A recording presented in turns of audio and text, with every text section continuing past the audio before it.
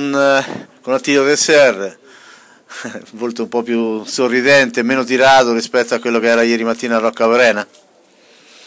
Beh, ancora forse no, ancora un po' di tensione c'è dentro.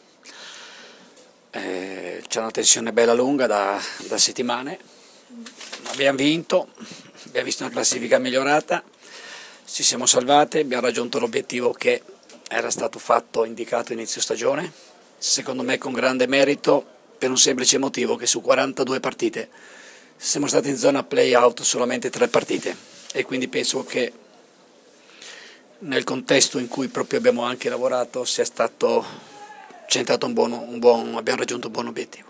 Momento più duro, più difficile qual è stato, mister? Ma momenti difficili ce ne sono stati tantissimi, eh, poi avremo occasione sì, di, certo. di, fare disamine sul, sul, campionato, mente magari un pochino più, più serena, più, più tranquilla, con, con, tante cose davanti. Momenti difficili durante il campionato ci sono sempre, abbiamo avuto treni di difficoltà e una squadra non siamo mai riusciti a dare continuità di risultati, abbiamo fatto prestazioni molto buone, prestazioni brutte e quindi non siamo mai riusciti a dare quella grande continuità che serve poi per, per poter far bene. Quindi chiaramente trovandoci in zona play-out proprio nella parte finale del campionato, ripeto, dopo fatto un campionato sempre sopra, eh, così, sicuramente è stata la parte, la parte più difficile. Senta, ieri mattina Rocca Porena sembrava un po' orientato al, sul 3-5-2, invece questa sera la sorpresa, 4-3-1-2. Ma no, eh, l'avevo provato tutta la settimana scorsa, eh, primi giorni della settimana, ieri ho riprovato il 5-3-2 perché, perché, la squadra era un po' tesa, avevo visto che era un po' in difficoltà, quindi da dar sicurezza. Stamane ho fatto la rifinitura, ho visto che erano belli tranquilli, a me l'hanno fatta bene e quindi ho deciso per quello che doveva essere l'obiettivo della squadra vincere, si può vincere in tutti i modi, ma un segnale che io volevo dare a loro era di fiducia, di forza, di, di una squadra che, si giocava la partita per vincere senza, di, ripeto, si può vincere in tutte le maniere, però era un segnale anche a loro. Una buona partita complicata, Murillo ci si è messo anche Giove Pluvio a complicare un po' la faccenda. Beh, direi di sì, nel limite del campo zuppato d'acqua che ha anche tenuto bene, però sopra c'era acqua, la palla non viaggiava con, con, buona qualità, a parte i primi minuti abbiamo fatto un po' fatica, poi, poi diremo che da quando abbiamo iniziato a salire in cattedra abbiamo avuto le palle gol, il portiere ha fatto delle parate incredibili, tutto sommato abbiamo anche fatto bene, abbiamo trovato spesso l'uomo tra le linee, che fosse un centrocampista, un interno, Gavazzi e soprattutto Falletti e, e da lì abbiamo creato le, le, un po' di situazioni importanti, sviluppando nei limiti del possibile anche secondo me un buon, un buon calcio. Secondo gol è un'azione direi da manuale, no? un gran pallone di Avenatti e una buona conclusione di, di Bocinov.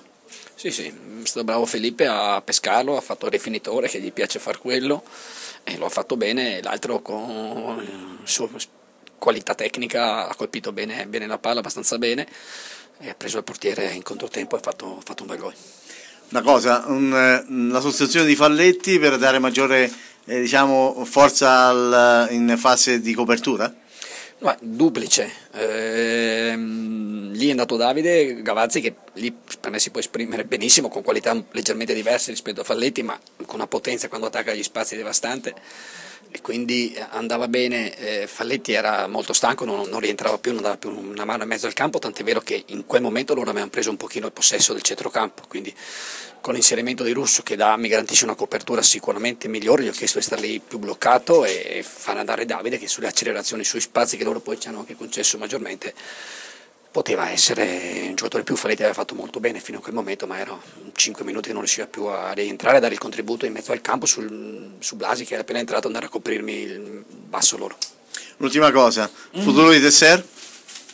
Ma va bene, io penso che stasera sia stata l'ultima partita, io non ho mai parlato con la società, adesso vedremo, ripeto, due giorni e poi... Che è stanco poi... anche lei, voglio dire? Sì, sono molto stanco, questo è, è evidente, due anni già in trincea, due anni con l'obiettivo della salvezza. Io sto stando non bene, benissimo qui a Terni, sono felice di questa esperienza, spero di averla onorata al meglio la maglia, e per me è stato un onore indossare questa e basta, ho fatto solo tutto questo con, con grande serietà, grande impegno, cercando col mio staff di mettersi nella nostra professionalità. Tutto qui.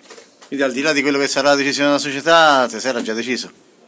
No, io ripeto con la società non ci ho mai parlato, diciamo che adesso è un momento un po' di, di, stanchezza, vediamo, vediamo, il fatto non solo società, ripeto non ho mai parlato con nessuno, né oggi che ci siamo salvati, ma tantomeno quando andavamo bene, che spesso gli allenatori vanno a chiedere, eh, io non vado mai a caccia di stipendi, vado a caccia di chi ti vuole, chi crede in te, chi ha fiducia e quindi dove c'è questo te serva. I soldi sono l'ultima cosa, non, non mi è interessata mai e avrei potuto farla in certi momenti e non mi interessa nulla, adesso staremo, staremo a vedere, godiamoci per stasera, certo. poi poi fra due o tre giorni vedremo, ma penso che... Bene, grazie mister, complimenti. E...